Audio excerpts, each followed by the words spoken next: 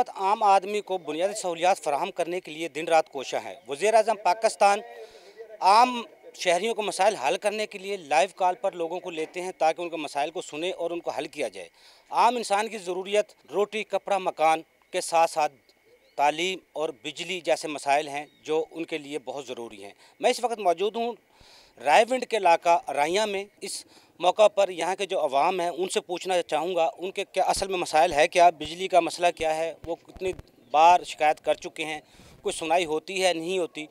जहाँ वज़ी अजम पाकिस्तान आम आदमी को ऊपर लाना चाहते हैं, वहाँ हमारे जो रियाती इदारे हैं, वो अवाम के साथ क्या करते हैं, लोगों से जानते हैं। जी, हजूर, ये बताइएगा आप, ये कौन सा इलाका है और यहाँ के मसाइल क्या हैं?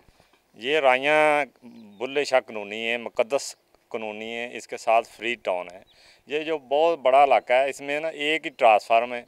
जो बिजली आती है 120 20 125 20 आती है 220 25 आनी चाहिए। जो हमारे पास पंखे हैं, वो दुकानों वालों के पास सड़े हुए पड़े हैं, मोटरें सड़ गई हैं कोई भी चीज़ हम लगाते हैं, वो नहीं, बिजली पूरी नहीं मिलती, वो जल जाती है। हम चाहते हैं कि ये हमारे इलाके में कोई छोटी मोटी जो भी मसले मसाइल है ये हल किए जाएँ। लाइट का मसला हल होना चाहिए सीवरेज नहीं है पानी पीने वाला फ़िल्टर पानी नहीं है बच्चे बीमार हैं गरीब आर लोग रहते हैं जो कमाते हैं ये बच्चों की दवाई पे लग जाते हैं इधर ना पानी है ना सीवरेज है जो बिजली है वो पूरी नहीं है कोई भी सहूलत नहीं है हम मुसलमान हैं पाकिस्तानी हैं लेकिन एक हमारा कोई भी इधर सुनने वाला कोई नहीं है जी जिस तरह आपने इन साहब की बात सुनी यहाँ पे जो सीवरेज का निज़ाम पानी का निज़ाम बिल्कुल धर्म भरम है।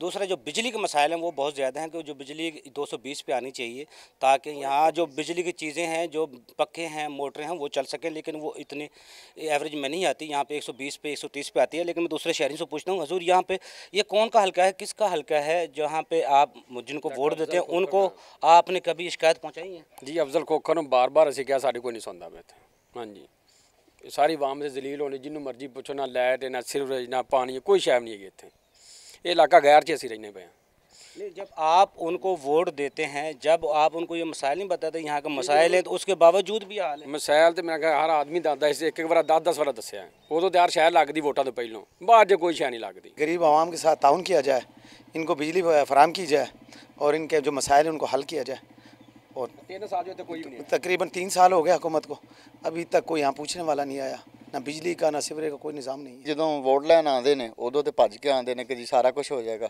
ਜਦੋਂ ਵੋਟ ਪੈ ਜਾਂਦੇ ਨੇ ਉਦੋਂ ਕਿਸੇ ਨੇ ਪੁੱਛਣਾ ਹੀ ਨਹੀਂ ਇੱਥੇ ਕਿ ਅਸੀਂ ਆਵਾਮ ਜ਼ਿੰਦਾ ਵੀ ਕਿ ਨਹੀਂ ਹੈਗੀ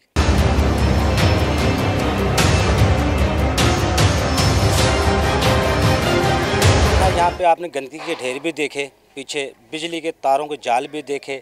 और ये देखें, ये बिजली के जो तार हैं, जाल है, मौत का जाल बिछाया हुआ, ये नंगी तारें हैं, जहाँ पे यहाँ बच्चे भी खेल रहे हैं, ये दूध की दुकान भी साथ है।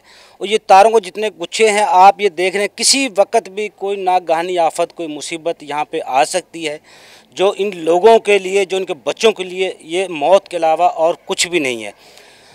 बिजली का बिल आता है, अगर एक आम शहरी किसी मजबूरी के तहत उसको जमा ना करवा सके तो वापडा वाले उसका मीटर काटने के लिए फ़ौर पहुँच जाते हैं।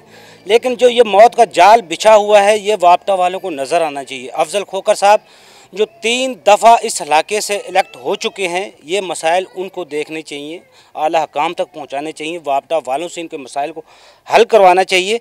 इसके साथ साथ मैं ये दिखाऊँ आपको, ये जो नंगी तारें हैं वो आपको नज़र आ रही होंगी मीटर नज़र, हज़ारों की तादाद में यहाँ मीटर ऐसे तारें लगी हुई हैं। ये अकेली जगह नहीं है, कई जगह पे ये मीटर वगैरह इसी तरह तारें नंगी, जहाँ पर बच्चे भी खेलते हैं, नौजवान भी यहाँ पे गुज़रते हैं, खेलते हैं।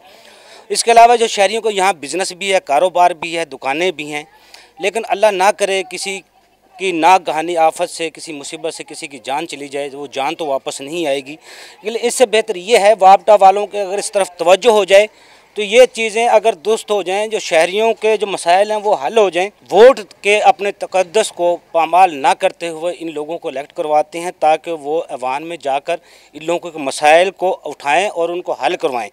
लेकिन हालत यहाँ ऐसी है कि जो आम आदमी है, दो वक्त की रोटी के लिए भी तरस रहा है और जो रोज़ाना की बुनियाद जो उस बिजली से वो अपना गुजारा करता है, बच्चों को अपने को पालता है, बिजली का बिल अदा करता है, पानी के बिल अदा करता है, इसके बावजूद उनके लिए ना पीने का साफ़ पानी है, बिजली के मसाइल हैं, जो ऐसे वो हल हो। जाएँ यहाँ जो शहरी आपने सुना होगा, वो जो बता रहे थे 220 की जो एवरेज यूनिट की यहाँ पे बिजली की आती है, जिससे वो पखे मोटरें चलती हैं, वो 120 125 पे आ रही है, जिसकी वजह से उनके नुकसान के अलावा फ़ायदा कोई नहीं हो रहा। बच्चे जो सुकून से, जिनको पखों की नींद में सोना चाहिए, हवा में वो भी बगैर पखों से अपनी ज़िंदगी गुजार हैं। तो मेरी आला हकाम से यही मुतालबा है कि खुदारा, ये लोग वही हैं जो आपको ईमानों तक पहुँचाते हैं, आपके नारे लगाते हैं, आपके लिए अपने घर बार छोड़ के आपको वोट डालते हैं। लेकिन एक सिर्फ़ अपने रोटी कपड़ा मकान के लिए अपनी सहूलत के लिए एजुकेशन के लिए सेहत के लिए पानी के लिए बिजली के लिए इन मसाइल के लिए अगर यही हाल ना हो तो ये लोग कहाँ जाएँगे? इनका कौन पुरसान हाल होगा? बिजली के मसाइल हाल बिजली के मसाइल हल होने चाहिए।